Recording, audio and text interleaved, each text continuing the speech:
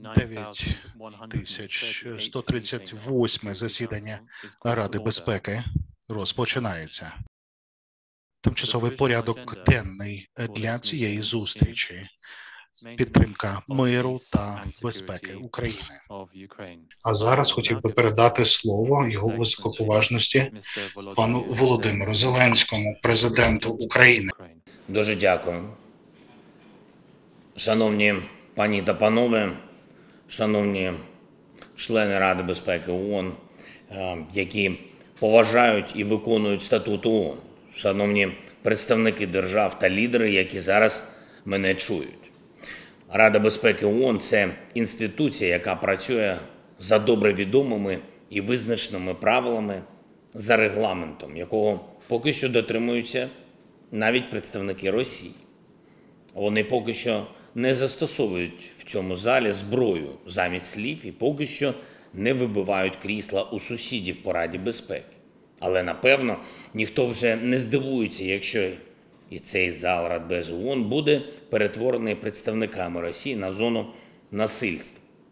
Статут ООН Росія вже зневажає будь-які правила цього світу. Росія вже порушує. Тож це лише питання часу, коли вона зруйнує і цю останню міжнародну інституцію, яка ще може діяти. Може. Саме до дій я закликаю вас зараз. Будь-хто в світі зараз назве сотні прикладів того, як Росія порушує міжнародний правопорядок і руйнує масив міжнародного права, постійно провокує ескалацію, постійно відповідає на будь-які пропозиції розмов новою жорстокістю на полі бою, ще більшими кризами і погрозами для України і світу. І це очевидні речі. Я назву лише п'ять, лише те, що відбувається просто зараз. Перше, Росія проігнорувала заклик МАГАТЕ до негайної деокупації Запорізької атомної станції і припинення будь-яких ворожих дій проти будь-яких атомних об'єктів України. Цей факт вкотре доводить, що Росія свідомо утримує світ на межі радіаційної катастрофи. Друге це ядерний шантаж. Погрози застосування ядерної зброї стали постійним наративом російських посадовців і пропагандистів. Це доводить, що Росія не має права володіти ядерною зброєю, оскільки не здатна, просто не здатна гарантувати безпеку світу навіть, навіть від погроз застосування ядерної зброї. Третє. Минулого тижня я представив на Генасамблеї ООН українську формулу миру. Відповіддю Росії на цей реальний шлях до миру стало оголошення мобілізації. Причому Росія свідомо фокусує мобілізацію на корінних народах тих територій, які вона контролює. А це не тільки території Кавказу чи Сибіру, де робиться все, щоб мобілізувати якнайбільше чоловіків, саме корінних народів. А це також і Крим. Крим український, який Росія захопила в 2014 році. Серед усіх етнічних груп Криму саме на чоловіків корінного народу кримських татар було розписано найбільше російських мобілізаційних повісток у пропорції до загальної чисельності. Це відверто геноцидна політика. Четвертий пункт. На очах у всього світу Росія проводить відвертий фарс під назвою референдум на окупованій території України. Під дулами автоматів людей змушують заповнювати якісь там папірці для телекартинки. Цифри, нібито результатів псевдореферендуму, були намальовані заздалегідь, як і заздалегідь проведена примусова паспортизація населення окупованих територій. І для чого це? А відповідь в наступному пункті. П'яте.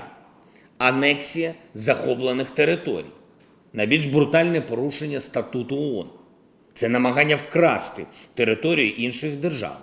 Це намагання стерти норми міжнародного права. І це дуже цинічне намагання примусити чоловіків на окупованих територіях України до мобілізації в російську армію, щоб кинути їх воювати проти своєї ж батьківщини.